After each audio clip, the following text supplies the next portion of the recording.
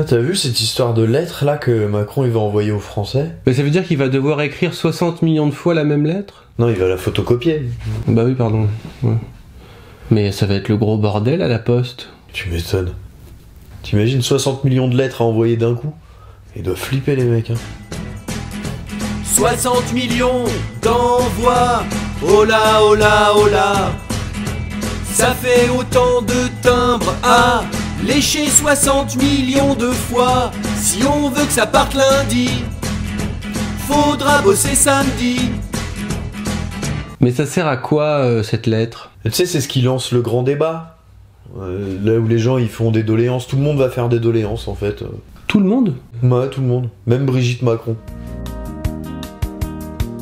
T'organises un grand débat, mais y a des priorités, comme nettoyer le jardin dans notre villa du Touquet.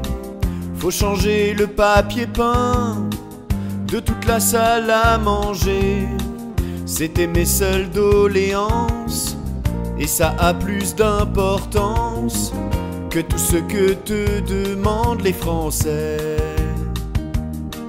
Et ça va déboucher sur quoi Bah, ça va rien déboucher du tout. Ah oui, d'accord. Parce que Macron, il sait déjà comment ça va se terminer, tu vois, il a déjà son petit discours de près.